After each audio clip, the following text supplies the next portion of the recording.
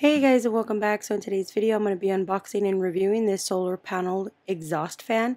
It is 20 watt high speed exhaust fan with an anti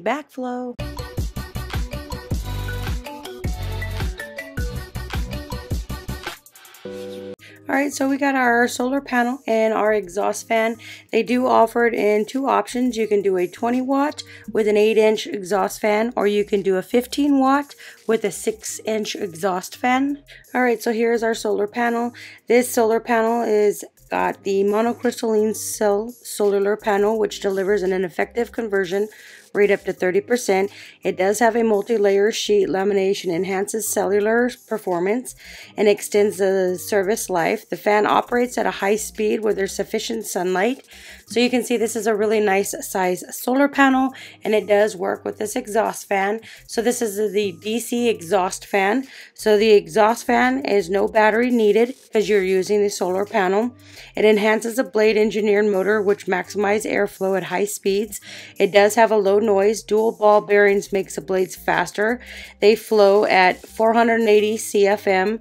The speeds are 2600 RPM. The noise level is rated about 36 dB. So this makes a perfect ventilation solution to reduce indoor temperatures and effectively enhances air circulations. This is great for greenhouses, chicken coops, sheds, pet houses, RVs, windows exhaust, outdoor camping. You can see that this is a really thick, hard plastic. And right here at the back, you have the exhaust. It does have a cap, so when this is closed, it does not work. So we're going to go and take this exhaust fan and we're going to install it into my chicken coop. All right, so we got the exhaust fan going. We have the solar panel on top of the chicken coop. So it has direct sunlight and that is why it's working. It does not plug into anything but the solar panel. That's what it runs. You can see that it's grabbing the exhaust from inside the chicken coop and it's taking the exhaust outside and the cap is open fully.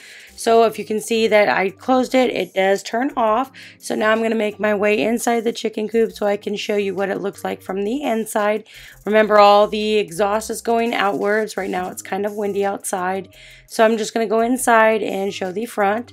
So right here is what the front looks like. And it's grabbing all the exhaust from the inside of the coop and pushing it all outside. If you're looking for a nice exhaust fan that works on a solar panel, I would highly recommend checking this one out. This one's a super nice one and I like the fact that it does come with a 20 watt solar panel.